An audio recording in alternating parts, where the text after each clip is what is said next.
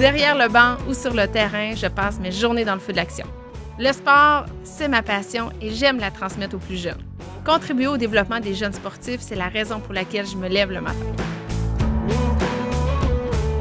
Je m'appelle Marie Voilette et je serai bénévole pour la finale des Jeux du Québec.